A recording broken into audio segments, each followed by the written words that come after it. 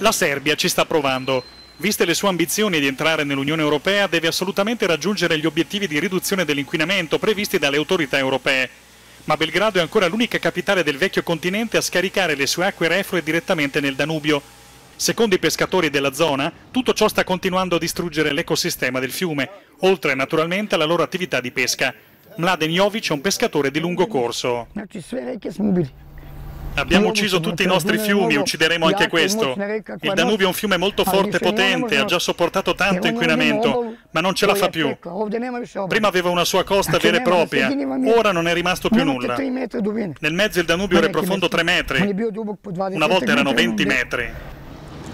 Il governo serbo si è impegnato a costruire nuovi impianti di trattamento delle acque di scarico, ma non è certo che saranno operativi in tempo per il 2025, anno in cui la Serbia spera di entrare nell'Unione Europea. Del bel Danubio blu qui non c'è traccia, il colore è assai diverso.